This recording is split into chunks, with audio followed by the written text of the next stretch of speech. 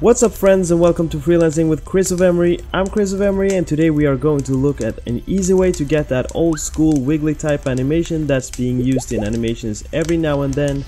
But first, just a quick reminder that if you want to support this channel, there are info on ways to do that in the description. For example, a channel membership gives you access to all the past animation streams among other things. Any support is much appreciated and with that out of the way, let's go!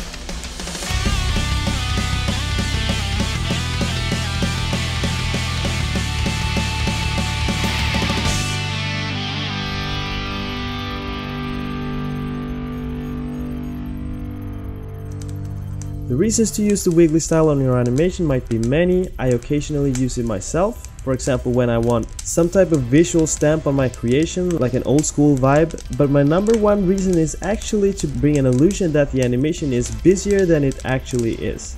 And why would I want that? Well, for example, if you are a lone wolf animator like me and want a fast paced animation with fast cuts and a lot happening at the same time, it might be really hard to keep up with the powerhouse animation studio that have the resources to keep the scenes heavily animated. With small tricks like this one, you help tricking the brain just a little bit that even in a scene where nothing is really moving, it's still very much alive.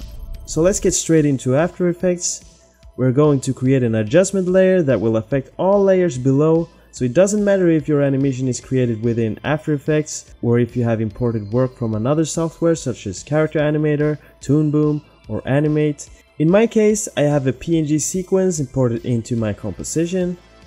I can just for the sake of explaining add a little text on top of it to show how it works on everything below in the layer structure.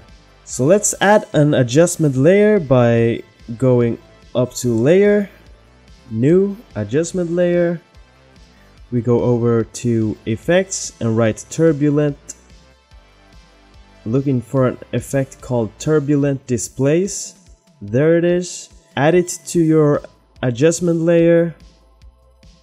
And if we drag evolution now we can just see the amount of displace and uh, there might be a place and time for this. For example I don't know if you're going for a like below water type feel or something but we want that more subtle wiggly style. So let's decrease the amount and size to something like mm, let's try 14 you can always play around with those to try and get the right feel for your animation.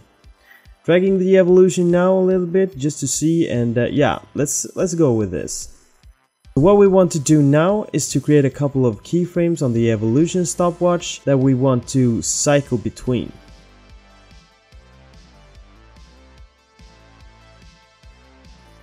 I hit the stopwatch on the first frame and it does not matter where on evolution we are really. Move forward 2 frames and drag evolution, we automatically get a new keyframe. Move forward 2 frames again and drag evolution and then repeat for a couple of frames. So why not just use 2 frames for this? Well, that would essentially mean that we would cycle between two different wiggle positions and that might look a little bit too repetitive. I just went with 6 frames now. Perhaps that's a little bit overkill, but uh, whatever. So what happens if we hit replay? We got some sort of wiggle vibe, but there's a problem in that it animates between our frames instead of just jumping between the keyframes.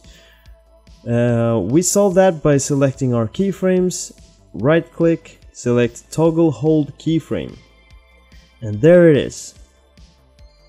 Our only issue now is that it does not really loop if I extend my work area like this. You see it only works during the keyframes, but it's easily fixed by creating a loop.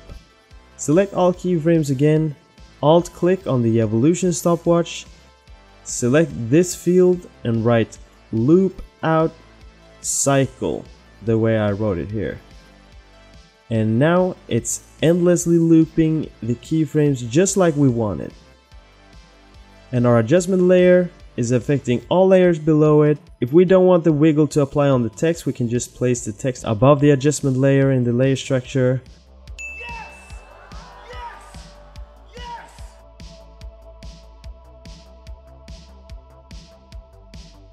And that's all for now friends. Make sure to like and subscribe if you want to see more from me. Stay creative and see you next time.